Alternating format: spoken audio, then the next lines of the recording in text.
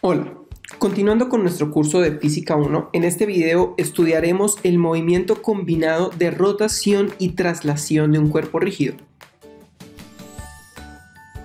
En este video veremos dos ejemplos de aplicación de las técnicas para describir el movimiento de cuerpos que rotan y se trasladan simultáneamente.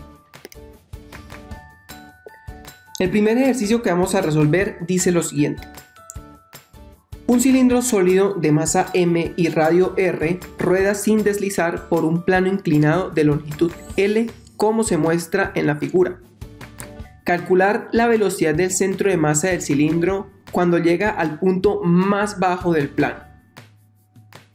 Para realizar esto, recordemos que en un movimiento de rodadura pura, es decir, cuando el cuerpo rígido rueda sin deslizar, la energía mecánica se conserva y la velocidad del centro de masa es el radio del cilindro multiplicado por la velocidad angular.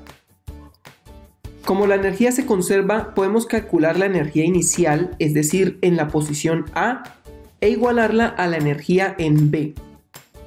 En la posición A, el cilindro no tiene energía cinética, de rotación, ni tampoco de traslación, pues suponemos que desde ese punto se deja caer el cilindro.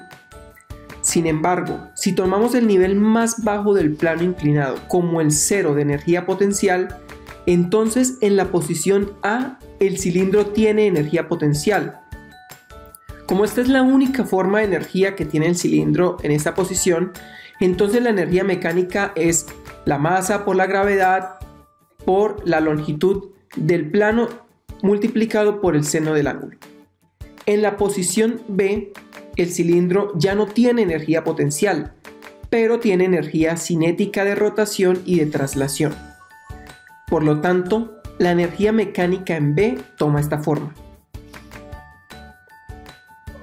Con el momento de inercia de un cilindro y la relación entre la velocidad del centro de masa y la velocidad angular, obtenemos este resultado para la energía mecánica en B. Ahora, como la energía se conserva, podemos igualar la energía en A con la energía en B para obtener de esta manera la velocidad del centro de masa cuando el cilindro llega al punto más bajo del plano. En un segundo ejercicio vamos a calcular la aceleración de un yoyo modelándolo como un cilindro macizo. Este yoyo se suelta del reposo. Entonces el enunciado dice lo siguiente. A un cilindro de masa m y radio r se le enrolla una cuerda ideal. El extremo libre de la cuerda se sostiene mientras el cilindro se libera del reposo. Mientras baja el cilindro, la cuerda se desenrolla. Calcular la aceleración del cilindro.